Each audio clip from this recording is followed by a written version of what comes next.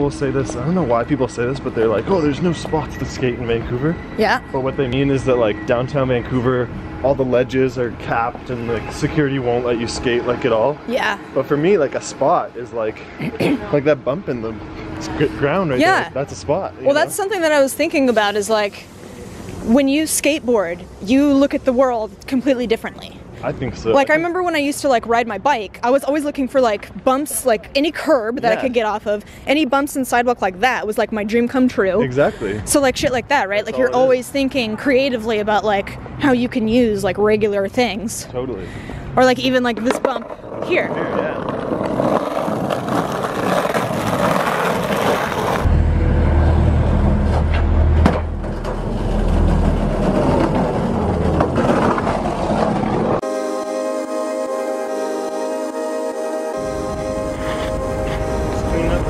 Yeah.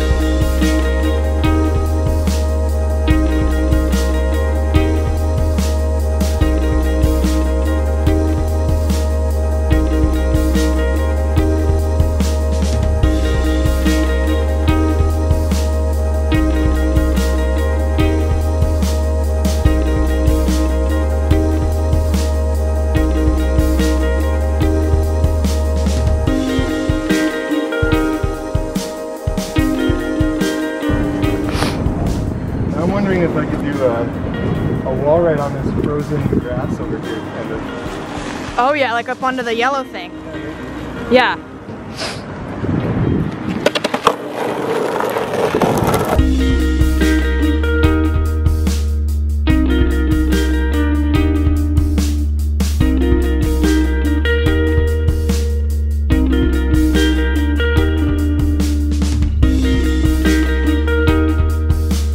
If I were going off stairs, all I'd be thinking about is, oh, I'm gonna for sure fall and hurt myself. Yeah, I guess as a skater, you have to get over that. yeah, definitely a bit. I feel like number one rule is like anticipate falling down. Don't be afraid about it. Yeah, yeah. I think like learning how to fall in a in a good way is a huge part of it, because then falling makes you less nervous when you kind of can know how you're gonna fall. I guess.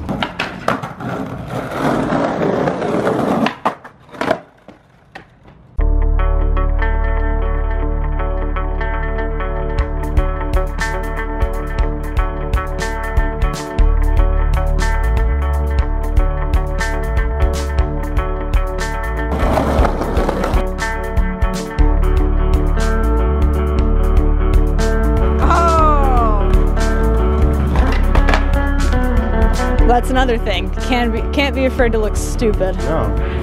Like how about this? I'm gonna like snow jam off this into the Okay. and then go down through that. Okay. Yeah.